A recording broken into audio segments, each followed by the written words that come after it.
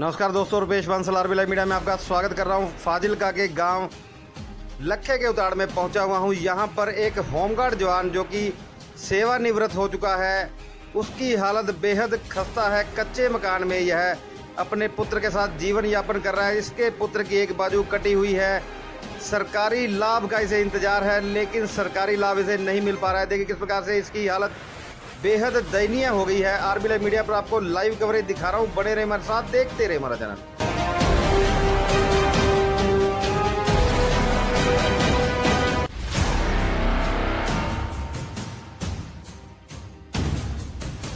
इतना ही नहीं, होमगार्ड में रह चुके इस बुज़ुर्ग से गाँव के ही कुछ लोग सरकारी प्लाट दिलवाने की एवज में पैसे मांग रहे हैं। ऐसे आरोप इस बुज़ुर्ग द्वारा लगाए जा रहे हैं। आरबीआई मीडिया पर आपको लाइव कवरेज दिखा रहा हूँ। बने रहे हमारे साथ, देखते रहे हमारा चैनल। इस आरोपों संबंधी जब हमने गाँव के ही पंचायत सदस्य से बात करनी चाहिए तो वे हमें उपलब्ध नहीं हुए।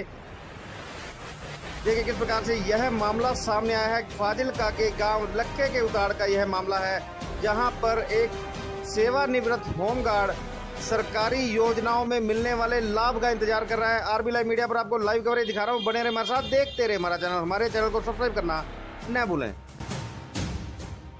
ਕੀ ਨਾਮ ਬਾਬਾ ਜੀ ਤੁਹਾਡਾ ਖਾਨ ਸਿੰਘ ਜੀ ਕਿਹੜੇ ਪਿੰਡ ਦੇ ਰਹਿਣ ਵਾਲੇ ਹੋ ਇਸੇ ਪਿੰਡ ਦੇ ਰਹਿਣ ਵਾਲਾ ਜੀ ਕੀ ਨਾਂ ਹੈ ਇਸ ਪਿੰਡ ਦਾ ਜੀ ਲੱਖੇ ਕੇ ਉਤਾਰ ਕੀ ਤੁਹਾਡੀ ਸਮੱਸਿਆ ਹੈ ਜੀ ਕੀ ਤੁਹਾਡੀ ਪ੍ਰੋਬਲਮ ਹੈ ਸਾਡੀ ਕੋਈ ਵੀ ਸਮੱਸਿਆ ਜੀ ਅੱਗੇ ਮੈਂ 40 ਸਾਲ ਹੋਮ ਗਾਰਡ ਰਹੀ ਹਾਂ ਪੂਰੇ 40 ਸਾਲ ਪਾਇਆ। 2002 ਚ ਆਰਮੀ ਵਾਲਿਆਂ ਨੇ ਰਿਟਾਇਰ ਕੀਤਾ ਚਾ। ਹੂੰ। ਤੇ ਹੁਣ ਘਰੇ ਤੇ ਸਾਡੇ ਮਕਾਨ ਵੀ ਇਹ ਮਾਮਲਾ 50 ਵਾਰ ਕੀਤਾ ਹੈ। ਟੀਸੀ ਕੋਲ ਤਿੰਨ ਚਾਰ ਵਾਰ ਦ- ਗਏ ਹਾਂ। ਤੇ ਮੇਰੇ ਤੇ ਗਿਆ ਨਹੀਂ ਜਾਂਦਾ ਜੇ ਅਸੀਂ ਕੀ ਕਰੀਏ ਗਰੀਬ ਦੋਵੇਂ ਪਿਓ ਪੁੱਤ ਹਾਂ ਰੋਟੀ ਪਕਾ ਕੇ ਤੇ ਖਾਈ ਨਾ ਉਹਨੂੰ। ਕੋਈ ਪੈਨਸ਼ਨ ਵਗੈਰਾ ਨਹੀਂ ਮਿਲਦੀ ਤੁਹਾਨੂੰ ਬਾਬਾ ਜੀ? ਪੈਨਸ਼ਨ ਮਿਲਦੀ ਸਾਢੇ ਸੱਤ ਸੌ। ਅੱਛਾ ਜੀ। ਉਸੇ ਨਾਲ ਗੁਜ਼ਾਰਾ ਕਰਨਾ ਜੀ ਹੋਰ ਤਾਂ ਸਾਡੀ ਗੁਜ਼ਾਰਿਸ਼ ਕੋਈ ਨਹੀਂ। ਹੁਣ ਕੀ ਮੰਗ ਕਰ ਰਹੇ ਹੋ ਤੁਸੀਂ ਸਰਕਾਰ ਤੋਂ? ਅਸੀਂ ਮਕਾਨ ਸਾਨੂੰ ਬਣਾ ਦੇਵਣ ਜੇ ਮਕਾਨ ਨਾ ਬਣੇ ਤੇ ਸਾਨੂੰ ਟੈਂਟ ਹੀ ਦੇਵਣ ਜੇ ਫੌਜੀ ਟੈਂਟ ਆ ਥਾਂ ਖੁੱਲੀ ਪਈ ਹੈ ਤੇ ਲਾਲ ਥਾਂ। ਤੁਸੀਂ ਡੀਸੀ ਨੂੰ ਮਿਲੇ ਹੋ ਜੀ? ਤਿੰਨਾਂ ਚੋਂ ਵਰ ਗਏ ਆ ਜੀ। ਤੇ ਕੀ ਕਿਹਾ ਫਿਰ ਡੀਸੀ ਮੈਡਮ ਨੇ? ਉਸ ਆ ਕੇ ਬਣ ਜਾਣਗੇ। ਜੀ। ਹੁਣ ਤੁਸੀਂ ਕੀ ਮੰਗ ਕਰਦੇ ਹੋ? ਅਸੀਂ ਆਨੇ ਜੀ ਸਾਨੂੰ ਬਣ ਜਾਵੇ ਥੱਲੇ ਮੈਂ ਆ ਗਿਆ ਤੇ ਇਹਨਾਂ ਆਖਣਾ ਇਹ ਆਤਮ ਹੱਤਿਆ ਕਰ ਰਹੀ ਸੀ। ਜੀ। ਤੇ ਆਉਣਾ ਹੈ ਥੱਲੇ ਕਿਸੇ ਦੇਖ ਤਾਂ ਬੰਮਣਾ ਹੋਣ ਕਿਸੇ ਨੇ ਜੀ। ਤੁਹਾਨੂੰ ਮਕਾਨ ਨਹੀਂ ਮਿਲਿਆ ਜੀ? ਆਇਆ ਜੀ ਲੈਣ ਨਹੀਂ ਦਿੰਦੇ ਪੰਚਾਇਤ ਵਾਲੇ। ਕਿਉਂ ਨਹੀਂ ਲੈਣ ਦਿੰਦੇ ਜੀ? ਕੌਣ ਰੋਕਦਾ ਤੁਹਾਨੂੰ? 35 35 ਹਜ਼ਾਰ ਮੰਗਦੇ ਨੇ ਅਸੀਂ 35 ਹਜ਼ਾਰ ਉਹਨਾਂ ਦੇ ਮਕਾਨ ਕਿੰਨਾ ਬਣਾਈ ਕਿੰਨੇ ਮੰਗਿਆ ਜੀ 35000 ਰੁਪਏ? ਕਲਵੰਤ ਨੇ। ਕੁਲਵੰਤ ਕੌਣ ਹੈ ਜੀ? ਕਲਵੰਤ ਮੈਂਬਰ ਪੰਚਾਇਤ ਹੈ ਜੀ। ਤੇ ਤੁਸੀਂ ਸਰਪੰਚ ਨਾਲ ਨਹੀਂ ਗੱਲ ਕੀਤੀ? ਸਰਪੰਚ ਨੂੰ 50 ਵਾਰੀ ਆਖਿਆ ਉਹ ਆਂਦਾ ਬੀਜੀ ਕੋ ਜਾ ਬੀਜੀ ਕੋ ਗਏ ਬੀਜੀ ਆਂਦਾ ਪੰਚਾਇਤ ਵਾਲੀ ਕਰੇਗੀ। ਅੱਛਾ ਜੀ। ਅੱਛਾ ਜੀ ਕੋਈ ਤੁਹਾਡੀ ਸੁਣਵਾਈ ਨਹੀਂ ਹੋ ਰਹੀ? ਕੋਈ ਨਹੀਂ ਸੁਣਾਈ ਹੈ ਤੁਹਾਡਾ? ਹਾਂਜੀ ਬਾਊ ਜੀ ਕਰਨੈਲ ਸਿੰਘ ਨਾਂ ਹੈ ਮੇਰਾ ਜੀ।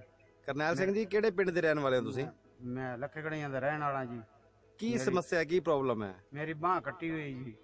ਤੇ ਮੇਰਾ ਬਾਪੂ ਬਜ਼ੁਰਗ ਹੈ ਤੇ ਮਕਾਨ ਆਇਆ ਨਹੀਂ ਦਿੰਦੇ ਪਿੰਡ ਵਾਲੇ ਪੰਚਾਇਤ ਨਹੀਂ ਦਵਾਉਂਦੀ ਕਿਉਂ ਨਹੀਂ ਦਵਾਰੀ ਜੀ ਪੰਚਾਇਤ? ਉਹ ਕਹਿੰਦੀ ਹੈ ਪਹਿਲਾਂ 20 20 25 ਹਜ਼ਾਰ ਰੁਪਇਆ ਦਿਓ ਤੇ ਤਾਂ ਆਣਗੇ ਪੈਸੇ।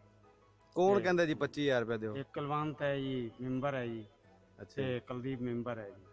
ਉਹ ਇਹ- ਕਹਿੰਦੇ 25 ਹਜ਼ਾਰ ਆ- ਦਿਓਗੇ ਤੇ ਤਾਂ ਤੁਹਾਡਾ ਮਕਾਨ ਆਵੇਗਾ ਐਵੇਂ ਕੋਈ ਨਹੀਂ ਆਉਣਾ। ਇਹ 25 25000 ਰੁਪਏ ਰਿਸ਼ਵਤ ਮੰਗ ਰਹੇ ਜਾਂ ਕੋਈ ਫੰਡ ਫੰਡ ਉਹ ਫੁੰਡ ਕਹਿੰਦੇ ਵੀ- ਵੀਡੀਓ ਵੀ ਅਹ, ਸੈਕਟਰੀ ਵੀ ਲੈਣੇ ਨੇ ਪੈਸੇ ਮਗਰ ਪਾਵਣ ਵਾਲੇ ਹੀ ਲੈਣੇ ਨੇ। ਅਸੀਂ ਵੀ ਲੈਣੇ ਨੇ, ਤਾਂ ਦੇਵਾਂਗੇ ਨਹੀਂ ਤਾਂ ਉਂਝ ਅਸੀਂ ਨਹੀਂ ਮਕਾਨ ਤੁਹਾਡੇ ਨਹੀਂ ਹੋਊਗੇ। ਜੀ। ਤੇ ਫਲਿੱਛਾਂ ਹੈ ਜੀ 15000 ਕਹਿੰਦੇ ਆਵੇਗਾ। ਤੇ ਉਹ ਮੇਰੀ ਤੇ ਲਿਖੀ ਨਹੀਂ ਨੇ ਮੇਰੀ ਭਰਜਾਈ ਦੀ ਲਿਖ ਲਗਣ ਫਲੈਸ਼ ਉਹਨੂੰ ਮਿਲੀ ਨਹੀਂ। ਤੇ ਕਹਿੰਦੇ ਕਿ 5000 ਅ, ਸਾਨੂੰ ਦੇਵਿਆ ਦੇਵਿਆ ਵਿੱਚ ਤੁਹਾਡੇ ਖਾਤੇ ਦੇ ਇੱਕ ਚੈੱਕ ਦਿਓ ਤੁਸੀਂ ਆਦਾ ਬਣਾ ਕੱਟ ਕੇ ਨਾ ਸਾਈਨ ਕਰਕੇ ਤੇ ਤਾਂ ਤੁਹਾਡੇ ਆਵਣਗੇ ਐਵੇਂ ਨਹੀਂ ਆਵਣੇ ਅੱਛਾ ਉਹ ਭਰਜਾਈ ਦਾ ਨਾਂ ਲਿਖ ਲਗਣ ਉਹ ਹਾਲੇ ਨਹੀਂ ਆਈ ਕਿਹਨਾਂ ਦੇ ਦੋ ਤਿੰਨਾਂ ਘਰਾਂ ਦੇ ਆਏ ਨੇ ਇੱਕ ਨਵਾਂ ਪਿੰਡ ਦਾ ਆਇਆ ਵਸਨੀਕ ਹੈ ਬਾਹਰੋਂ ਹਰਿਆਣੇ ਤੋਂ ਆਇਆ ਹੈ ਉਹਨੂੰ 15000 ਮਿਲਿਆ ਤੇ ਉਹਦੇ ਕੋਲੋਂ ਨਾ 5000 ਰੁਪਇਆ ਲੈ ਲਿਆ ਹੈ। ਮੈਂਬਰ ਨੇ ਕੁਲਵੰਤ ਨੇ। ਤੇ ਤਾਂ ਉਹਨੂੰ 10000 ਮਿਲਿਆ ਉਹਦੇ। ਖਾਤੇ ਹੁਣ ਕੀ ਮੰਗ ਕਰ ਰਹੇ ਹੋ ਤੁਸੀਂ? ਹੁਣ ਮੰਗ ਕਰ ਰਹੇ ਹਾਂ ਜੀ ਸਾਡਾ ਮਕਾਨ ਮਿਲ ਜਾਵੇ ਬਾਰਿਸ਼ ਹੁੰਦੀ ਹੈ ਤੇ ਸਾਨੂੰ ਇਹ ਖਤਰਾ ਹੋ ਜਾਂਦਾ ਪਤਾ ਨਹੀਂ ਕਦੋਂ ਡਿੱਗ ਪੈਣਾ ਤੇ ਕੀ ਬਣੇਗਾ।